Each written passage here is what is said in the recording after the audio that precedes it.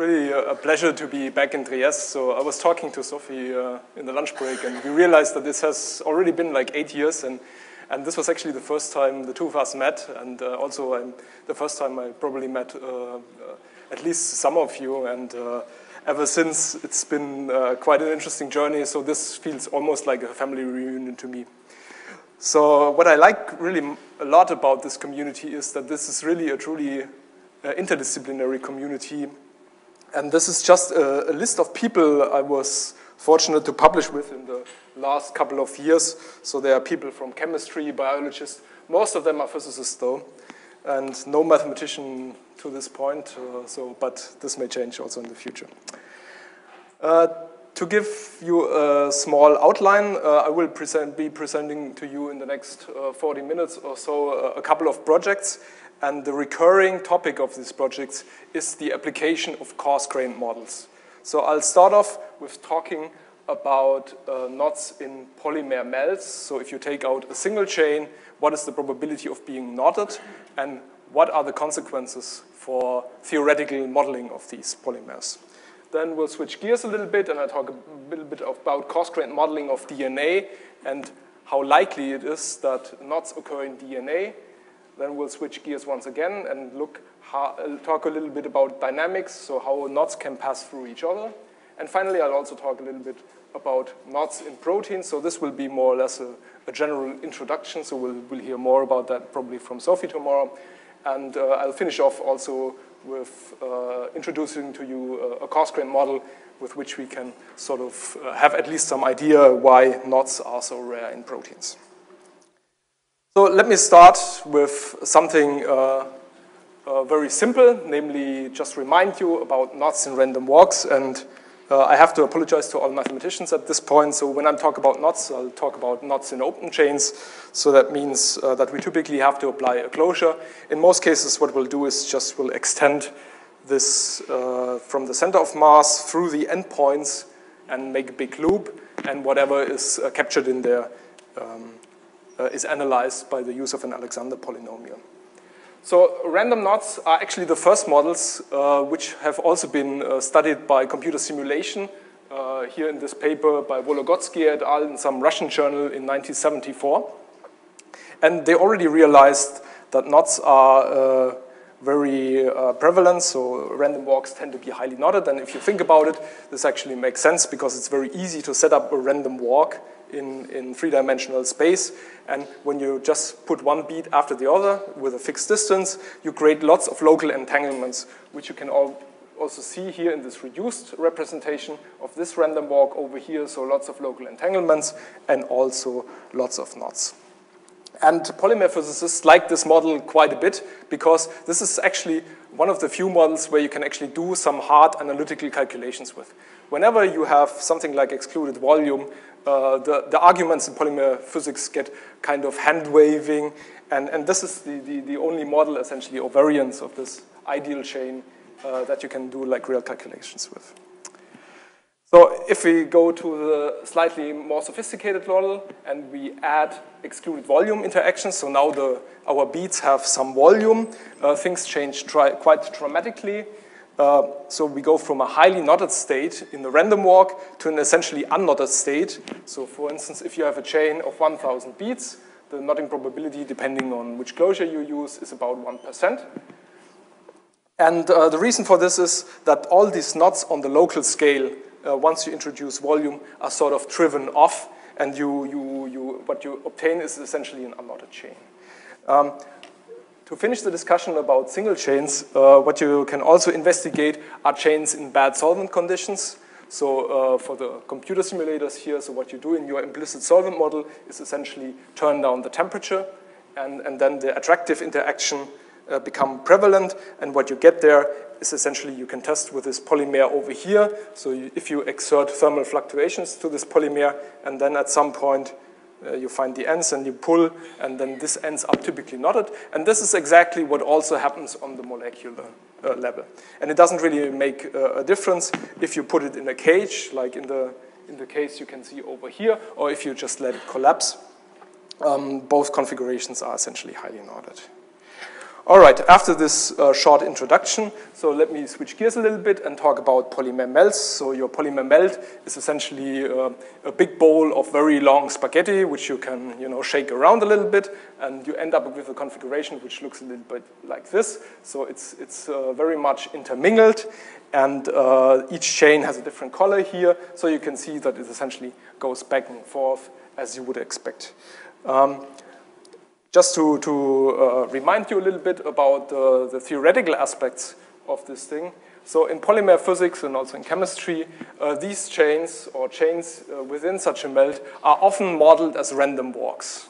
Yeah? And let me just provide you with some hand-waving argument why this is the case. So this is an argument with, oops, that was a little bit too, uh, this goes back to an idea of Flory, and the way I present it can be found in the book of de Gennes, the scaling concepts in polymer physics. So if this is your, your chain, or uh, your melt over here, you can paint one of your uh, molecules in one color. So let's paint it red. So if you have your spaghetti, you, you, know, you choose one spaghetti which has a different color, and then you look at the concentration profiles.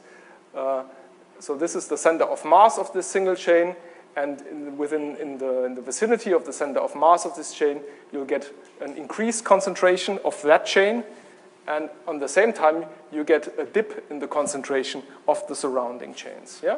And you, if you add, it, add these two contributions up, you essentially get something like a homogeneous contribution. And what you can do now is you determine the forces occur from intra-chain interactions, and these forces are essentially repulsive. So the, from here, you are sort of pushed downhill, whereas uh, attractive forces arise from this energy uh, minimum over here.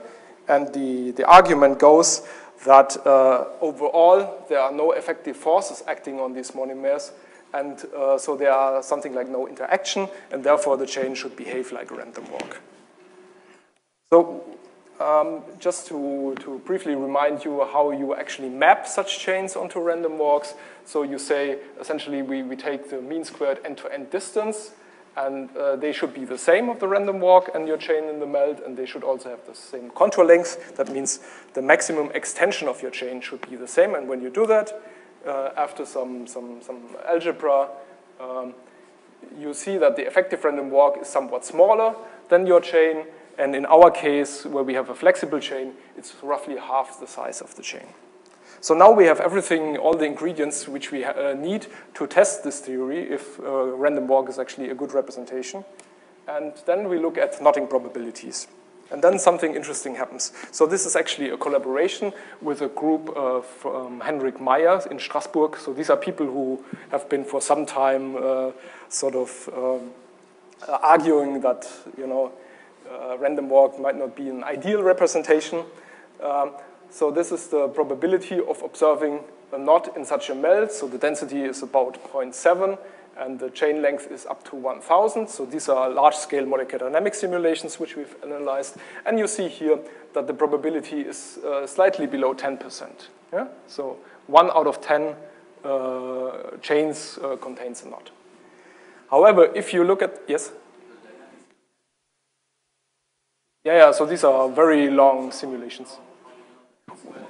Yeah, that's a very good question. Um, so what you can do is you can actually look at individual chains and, and see uh, if the knot is there all the time or if it disappears and you can come up with some time of uh, correlation time. And, and these things, they, they really run for years. Yeah, so this takes a, a huge computational effort. So it's, it's not, not something you do on your laptop. All right? And, and when we compare that with the uh, corresponding random walk, what we see essentially here is that uh, it's highly knotted. Yeah? And there's a large discrepancy between what you observe for your chain in the melt and the random walk, which is actually a first indication that they do not reproduce the structure of the chain. Yeah? And, and this also doesn't change if we change the density of the melt. Of course, in the limit of infinite dilution, we obtain the self-avoiding walk, which we have actually here on this axis, more or less.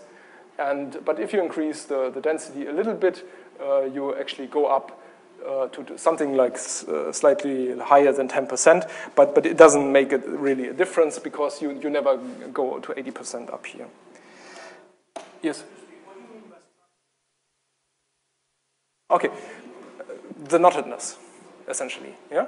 So uh, we will see later on, I will give some other examples that analyzing knottedness actually is a very fine gauge for the overall structure of a chain. Yeah? And, and this we essentially use to, to, to say if this is a good representation or not. Say again? Yeah, these are all linear polymers, of course, yeah. Mm -hmm. All right, and um, something similar can actually be observed uh, when we look at the, the sizes of knots. So again, the sizes predicted by the effective uh, random walk model are much smaller than the sizes observed in the chain. And by size, I mean that if you have a knot here and you start cutting off from both ends, then this is essentially whatever remains uh, defines the size of the knot. And as, as all of you will know, that uh, um, the knot spectrum, of course, is also different because if you have something with a knotting probability of 80%, you will not only observe trefoil knots, but many, many very complicated knots. Whereas in the polymer melt, with a knotting probability of 10%, you only observe, or mostly observe trefoil knots over here. And uh, when I put the transparencies together, I actually realized that this is also an indication of knot localization in these melts. So this exponent is smaller than one, so they are weakly localized in the melt. All right, uh, so we were thinking hard uh, about how to save the day and uh, come up with some other ideal chain models to, um, to take these effects into account. Uh, however, we, we didn't really succeed. So I will just present you one of these failed attempts um, because I think it's, it's a very interesting model and I, I, was not aware of it actually before talking to, to Nathan Clisby uh, at another conference in the beginning of this year. So this is actually published in in a conference uh, proceeding uh, from, from back then. So um, this model I'm talking about now is called the finite memory walker. Yeah? So this is essentially a mixture between self-avoiding walk and uh, random walk. So up to a certain interaction distance, so if you have a bead here, you regard it as a, as a self-avoiding walk, and beyond that, it's just a, a random walk. Yeah? So in the vicinity, it's a self-avoiding walk, and for larger scales, it's, it's a random walk. And uh, if you um, change this interaction length, so you go from nearest neighbor to you know 30 beats on each side, uh, the knotting probability, of course, changes from the random walk and approaches a probability that you would get for a self-avoiding walk in the limit of interaction range equal to chain size. Okay, so this already looks kind of okay, but you already see here that it's difficult to really get down to 10%. So even for interaction range to 30, it didn't really work out. And um, what, uh, when we finally realized that this is not really working is when we looked at the probability for finding a trefoil knot of a particular size. Yeah, so this is over here. So here you get the, the the distribution or the probability distribution essentially for the random walk. Here you get it for the self-avoiding walk. This is our chain in the melt. And uh, what you observe here, so for instance, for a finite memory walker of size 30, um, you follow the distribution of the self-avoiding walk until interaction range 30, and then it jumps essentially and uh, approaches the distribution of the random walk. So this is again an indication that up to the interaction range, uh, it behaves like a self-avoiding walk, but beyond that, it behaves like a random walk, and in, in no case we can ever, you know, obtain the distribution which we get for the melt. And we, we also tried other things like, you know, reducing the excluded volume of all chains, and, and all, all these kind of models didn't really work. So let me just briefly mention what actually did work.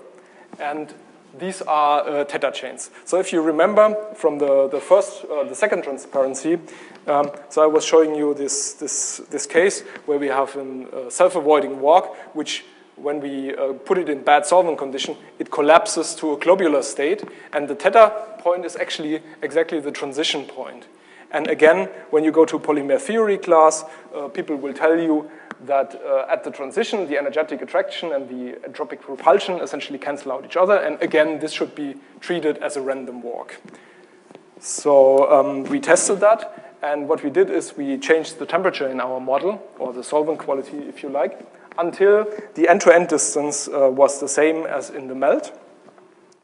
And when we now look at the uh, knotting probabilities, we see that uh, they are very similar to the polymers in the world. So the difference is about 1 to 1 to 2%. And you have to keep in mind that the model now is slightly different because uh, the, the polymers in the melt are essentially athermal, whereas now we, of course, we need some attraction to, to uh, enforce the transition. All right, so this already looks quite promising. So, and when we look now at the distribution, again, so we are looking at the probability of finding a trefoil knot uh, of a particular size. Uh, now it all matches up, and we essentially reproduce with our theta polymer uh, the, the distribution of a polymer in the melt. So that essentially means two things. First of all, theta polymers are not random walks either, but if you want, um, okay, so maybe I should state that more carefully. but if you want a single chain model that reproduces the structures of chains in the melt, um, actually uh, a theta polymer does a very good job. Yeah? So the knotting probabilities are very, very similar, and, um, and, and this is sort of our, our best guess for, for describing polymers in, in melts. Yeah, yeah, of course, yeah, yeah, yeah. Yeah, yeah, okay. Yeah, so of, course you, there are similar arguments for polymers in the melt. So there are the, the, the, people from Strasbourg who say that there are logarithmic corrections to that, and, and the same applies essentially to the theta polymers. Yeah, so that's, that's completely correct. All right, so let me switch gears a little bit and talk about a related uh, topic, uh, namely ring melts, and I only mentioned that briefly uh, because it, it uh, created quite some attention, uh, also from people not in the knotting community, namely for the description of chromosome ter uh, territories. So here there's a nice picture from 2005, and this is essentially shows you the distribution of chromosomes in the nucleus and you can see that they are quite localized, so uh, a particular chromosome occupies a certain amount of space. And the reason for that is, even though they are like open chains, um, that this is probably a highly non-equilibrium state, yeah, and that the equilibrium time is just very large. I've read papers which calculated it to be something like uh, 300 years or something like that. So um, you are essentially looking at a non-equilibrium uh, conformation. And um, so there were uh, lots of discussions where people would come up with a model from polymer physics which sort of reproduces a similar behavior, and these are so-called ring melts. So now we have unknotted, uh, melt of unknotted rings, and you can see already over here in comparison to the open chain melt that the chains tend to be much more localized, and this is uh, how people draw the analogy between the two. And uh, we also did some simulations uh, using GPU with the HOOMD molecular dynamics program. And uh, the results were actually published in a conference proceeding from a uh, conference uh, from organized uh, by Tetsuo Deguchi in 2011. And you can see here that the scaling actually uh, approaches uh, one third, or if you have the squared radius of gyration, two thirds. And this is actually an indication that these chains in the melt, the ring chains in the melt, they behave like globular structures. And when you look at them, you see that they are almost like a, like a real globule. And then just for the fun of it, we also put knots in there. So again, this has no connection to real biology, but just we did, just did it nevertheless. And uh, what we observe there is essentially that for very small chains, so if you have a chain of size 100 and you make a melt of these chains, the knot essentially occupies the whole chain and it reduces the um, the size of the chain considerably. So in this region, we see a big difference between, let's say, three one-knotted chains and five one-knotted chains as compared to the unknotted rings over here. However, when you increase the chain size uh, to a couple of thousand, um, they sort of approach each other, and they also go to the one-third scaling limit over here, just like the rings. And this is, again, an indication, at least, that knots tend to be localized, and if you just make the chain long enough, the presence of the rod doesn't really make a big difference um, anymore.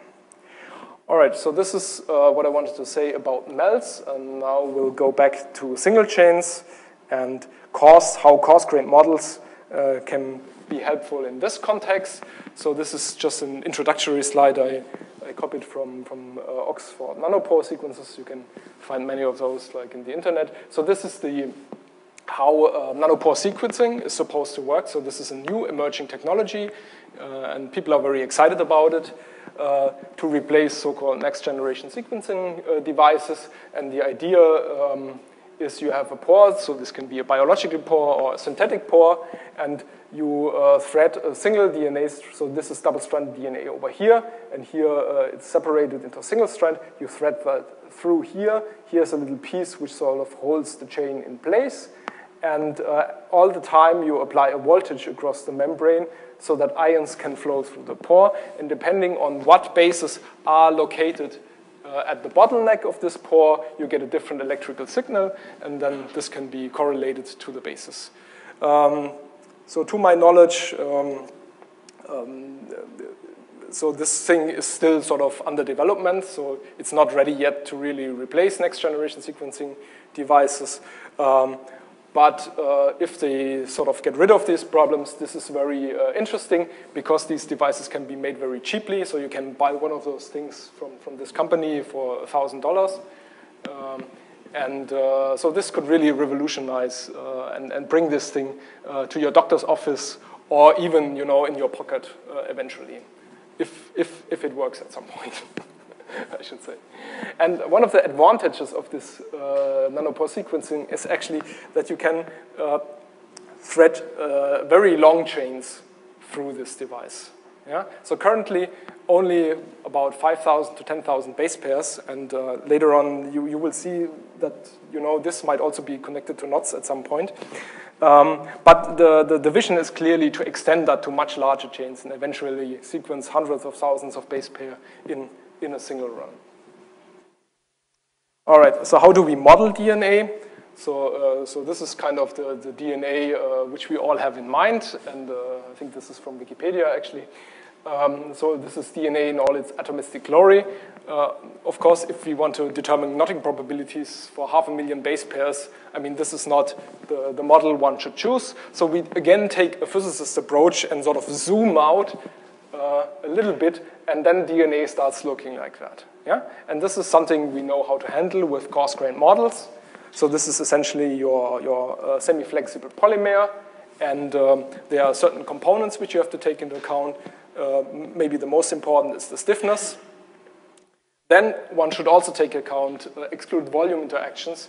So again, I don't want to go into details here, but if you just treat it uh, as an ideal chain or a worm-like chain, um, you will not get the correct results. And uh, finally, one can think about electrostatics, but it turns out that these electrostatics are actually screened, so we don't need to take them into account explicitly. But what we do is we sort of incorporate them in some kind of effective thickness. And this is pretty much along the uh, line of uh, a paper from Vologodsky in the early 90s, uh, which uh, also tried to, to come up with such a model uh, based on knotting probabilities from 5,000 to 10,000 base pairs. However, in their model, they made an additional assumption, namely that the persistence length of DNA is uh, 50 nanometer. And in contrast to that, uh, we didn't do that. So we just took their experimental data. And of course, fitting becomes much more complicated by then and uh, come up with parameters for the stiffness and the effective thickness of our beads. And as a consistency check, so this is also more for the people interested in polymer physics. We actually determined the, um, the persistence length of this chain, and it turns out that it's exactly 50 nanometers. So again, this is an indication that if you get the knotting spectrum right and you have the, the, the, a good coarse-grained model, then this will also give you other structural properties of your chain, for instance, the persistence length. All right.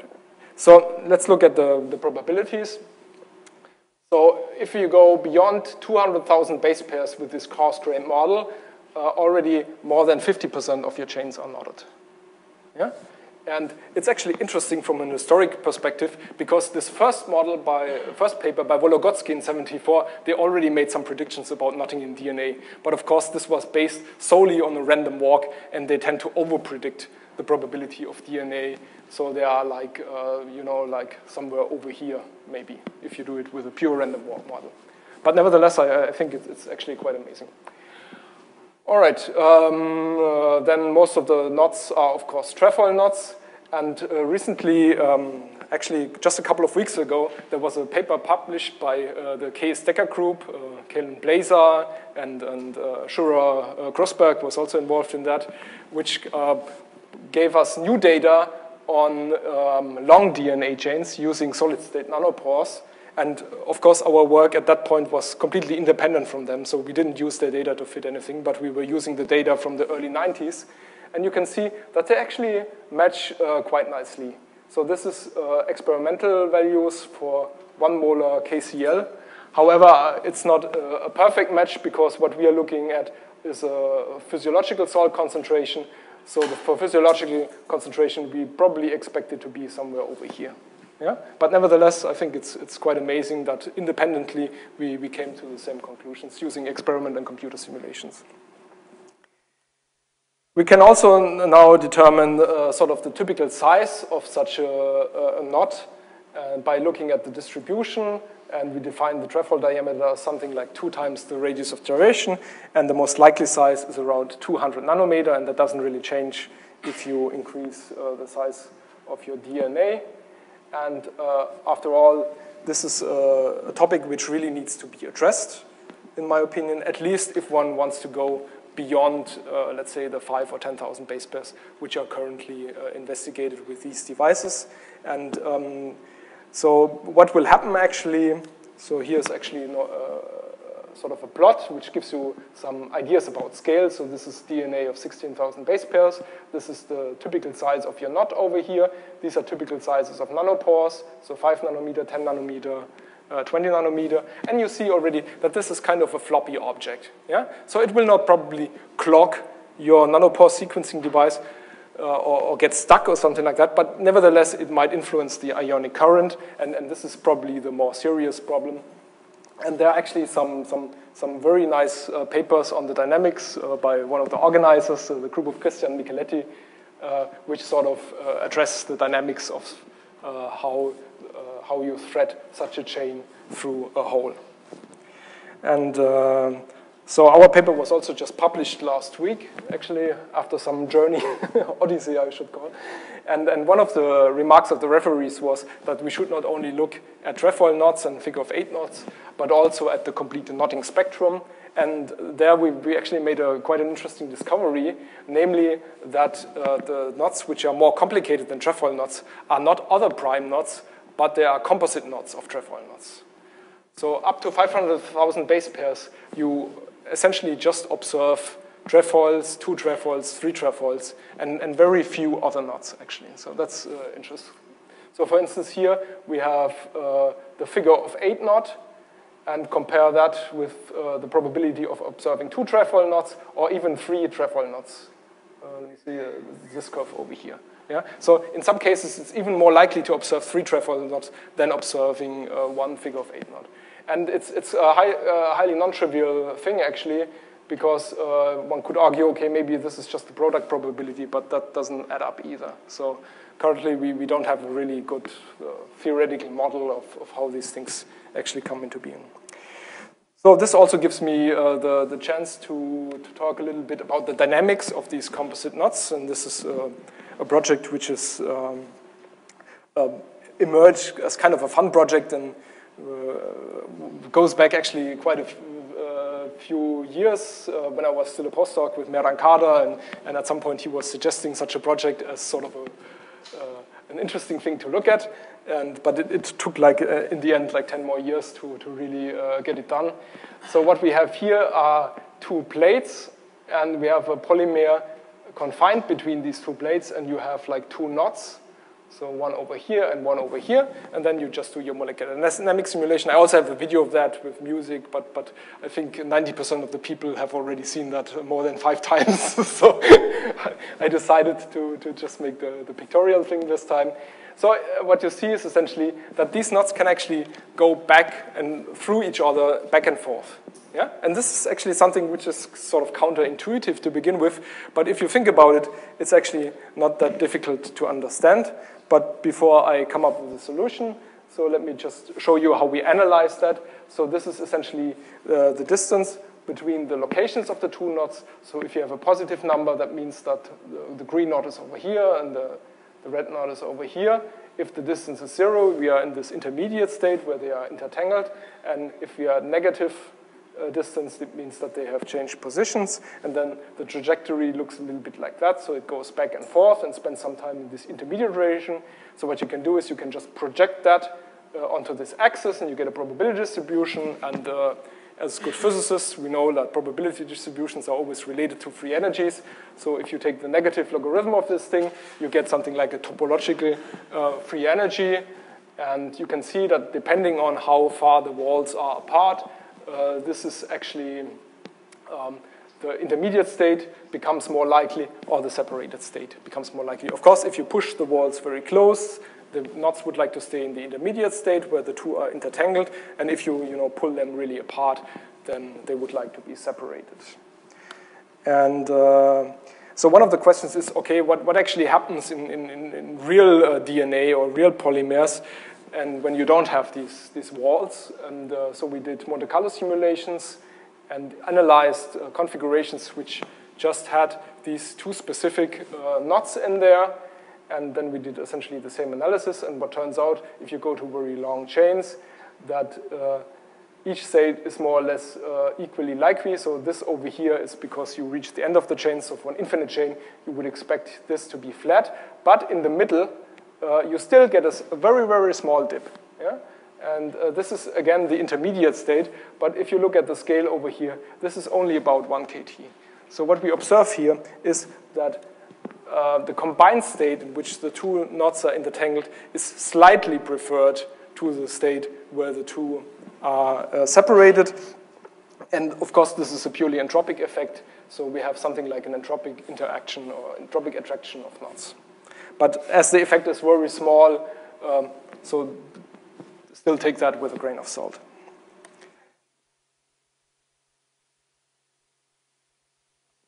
Oh, this is just how we define it. So if you have a, a knot over here and a knot over here, and they change positions, then, then this is negative. Yeah. So, but of course, this distribution should, should be symmetric.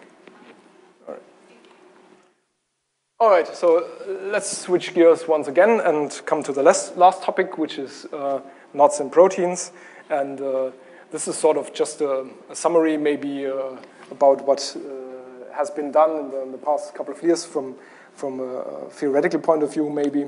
So people, including us, have looked uh, at knots in the protein data bank, and this has already been mentioned uh, uh, before, that knots tend to be very rare. So this is just sort of a, uh, a semi-complete list of knots which occur there.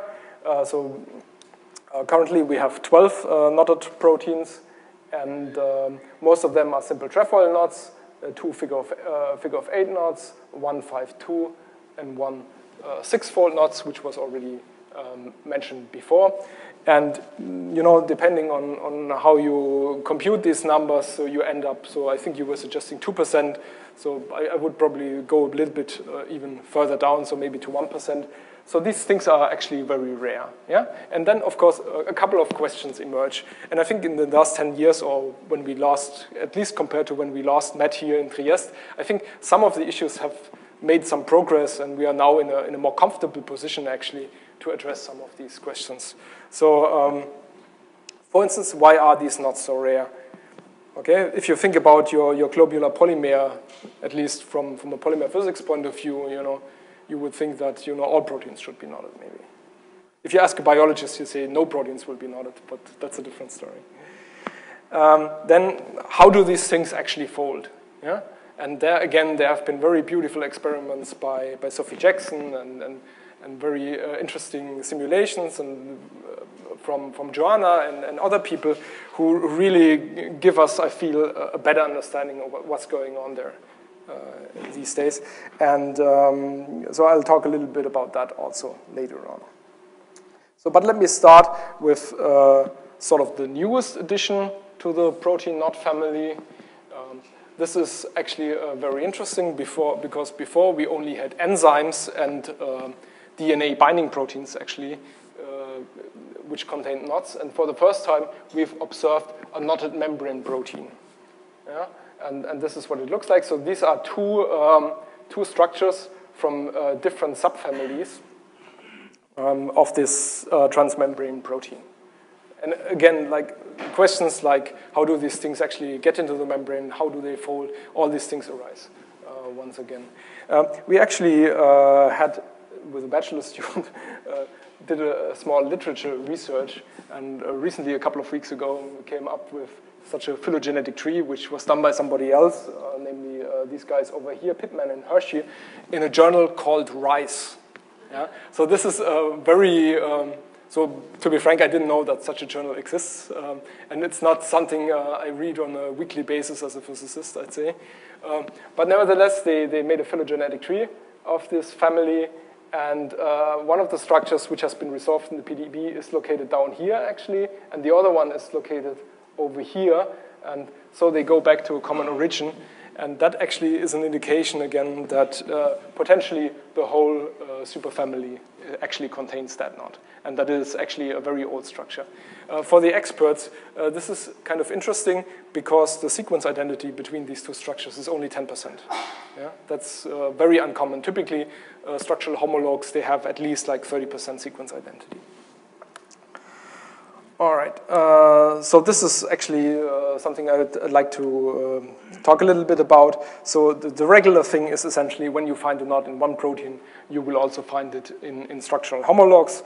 So as an example, I've picked this nice five-fold knot here, which is present in human, and there's also a, a homolog, which is present in yeast. And even though you know, at least in Germany, that there's a nice connection between yeast and human, uh, the idea is probably just like in the case before, that it goes back to a common ancestor, and that means that the structure is potentially hundreds of millions and maybe billions of years old. So the knot has been there for quite some time. And uh, an interesting side remark, which I tend to make at this point, is that this 5-2 knot has a structural homologue which is abundant in everybody's brain. Okay, so this is again a story people have heard probably like five or six times at least. Uh, so if you look very closely, it's located right over here. Um, so you can also make a, kind of a back of the envelope calculation. And uh, when you add up the numbers, uh, you realize that 10 to the 19, so that everybody has 10 to the 19 to 10 to the 20 of these knotted molecules in your brain. And this was sort of an heureka moment for me uh, but uh, there are also lots of funding opportunities, as pointed out uh, by David, I think, in the last uh, get-together in Warsaw. So this protein is related to Parkinson disease and certain types of cancers. So, um, so maybe there's finally hope to, to get some funding for, for, for that as well. All right, so uh, then the question arises, um, if these knots are always preserved, and the answer is no. There's one counterexample, uh, which we found in, in 2006, and the, the protein is named transcarbamylase. And what you see over here uh, is the knotted homolog, at least the knotted part, and the unknotted homolog, which is located over here. So this is missing this arc over here, essentially. So you have to really look carefully to, to see that this thing is actually knotted and this is not. Um, and so how this came into being was maybe just by the deletion of the corresponding sequence in the gene. And this was actually, when I saw that for the first time, uh, a perfect candidate for creating an unknotted protein from a knotted one. But as you will see uh, soon, that this is not how it actually uh, played out. Um, however, there's also a very nice bioinformatics study by Raffaello and, and, and, Christian. So if you want to, to learn about the origin of this particular knot, uh, you should have a look at that as well. So the, the difference actually is not that exciting, so it, it just catalyzes a slightly different reaction. So this carboxyl group over here moves uh, over here in the knotted version, and therefore we have some more space over here for an additional acetyl group. So in the end, it's, it's nothing really exciting. So this is nothing, you know, there have been, of course, lots of speculation, and people are still speculating what knots are really good for. In that case, uh, it's, it's probably not that exciting. The current speculations are that it maybe improves resistance against degradation or thermal fluctuations and these things. Uh, and there's actually some, some evidence by, by simulation at least which uh, support this claim. All right, so let's move on. Um, this is, again, I think, another milestone uh, in the field which, which came into being uh, after the last Trieste conference. Um, and this is the, the first creation of an artificial uh, knot in the group of Yeates. So what they did is they took a, a, homodimeric structure and connected the end of one protein with the beginning of the other one. And by doing that, they created an artificial trefoil knot, and it actually folds into this knotted structure. And it's also what probably happened uh, in the beginning uh, when these structures came into being in the first place. So um, when you look at the structure, many of them actually still have remains of, of these dimeric structures in them. So that, from a, from a protein engineering perspective, I find very exciting because, you know, maybe at some point this will be just uh, within the toolbox of, you know, how you design proteins, and not just structure, but also topology will eventually play a role in there. So very interesting. Um, the last thing, or the second to last thing I would like to address is um, the, the issue of folding. And this is actually a simulation I did uh, about 10 years ago. Um, so this is, again, where coarse-grained models uh, play a role. So you have your basic polymer model, so you have some excluded volume, spring potentials, angle potentials, torsion potentials. And in addition, you have something like a native potential, uh, which uh, essentially gives uh, negative energy contributions to uh, amino acids which are close to each other in the native state. Yeah? So this way you enforce that the protein will actually fold into the correct conformation. And again, I quickly realized that there are experts in this uh, which are uh, much better in this than myself. And, and one expert is also here, um, Joanna. Okay. Joanna is, uh, so she's the one who's, who's really uh, uh, has, has uh, progressed this field considerably uh, with these kind of simulations. And so I was fortunate to publish this paper together with her, uh, where we looked at the folding of this six-fold knot. And this looks already quite complicated. So give, let me give you my poor man's version of it. So again, you see this uh, dimeric structure over here, the red part and the blue part, and those are connected uh, by this uh, wide arc, if you want. And if you just flip that over uh, the knot essentially disentangles. So even though you may have a very complicated knot to begin with, in the end, it may not be so difficult to fold. Uh, but again, you know, these are coarse-grained simulations, and uh, they are just here essentially to give you a, a feeling for, for these kind of things. And of course, this needs to be confirmed with, with corresponding experiments. All right, so the last topic, um, in sort of to, to, to close the circle, uh, once again, uh, so I will talk uh, about a, a coarse-grained toy model, which is very popular among physicists, namely the so-called HP model. H stands for hydrophobic and P for polar. So this is essentially uh, a lattice protein, uh, which has the, the, uh, the property that in low energy states or native-like states, uh, it forms a hydrophobic core, just like in real proteins. Yeah? And this, this model is, goes back to Ken Dill in 1985 and has been uh, popular amongst physicists at least ever since. And uh, so with this model, um, I, I, wanted to, to address the question why knots are so rare in proteins. Um, so first I thought actually the formation of this hydrophobic core over there may have something to do with the rarity of the knot. Uh, but uh, in the end, uh, this didn't out, turn out to be true. So what we did here, we simulated 100 sequences, the size of each, uh, so we 50% H, 50% uh, P, and um, uh, chains of size 500, and determine knotting probabilities of native-like states. So these are very low energy states of that model. And um, of course, um, I need to point out that this model has uh, significant degeneracy, so these ground states are not unique, so which actually enables us to determine these knotting probabilities. Um, but, and uh, let me just remind you that these are very difficult simulations. Yeah? So again, I tried it on my own and realized that, that this is too difficult for me. And I had to team up with Thomas Wüst, who is sort of the world leading expert for these type of models. And even with him and very optimized code and using all the tricks of the trade, we still needed like 5 million CPU hours to, to get this graph. Yeah? So, so don't try this at home if you have to.